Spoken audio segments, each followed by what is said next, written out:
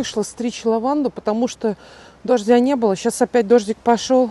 Уже вижу, роют землеройки, кроты, как обычно. Весной здесь после того, как сойдет снег, Вон идет моя подруга. Привет, Ватрушка. Без тебя, конечно, не обходится ни одно видео.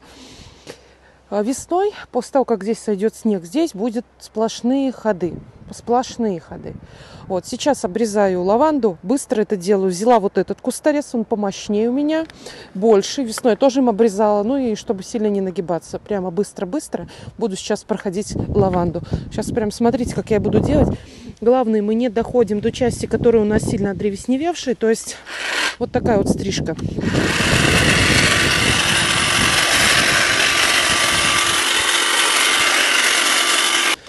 Вот смотрите, вот такая вот стрижка. Куст становится плотнее, он уже у нас, точнее, у него уже будет меньше вероятности развалиться.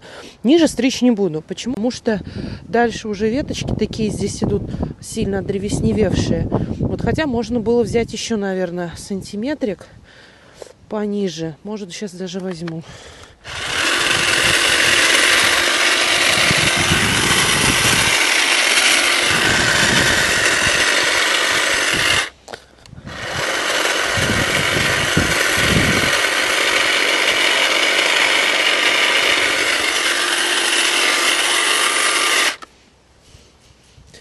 Все, вот такие вот шарики у меня остаются. Сейчас вот мне главное определить высоту, на которую резать. И, в принципе, дело пойдет достаточно быстро.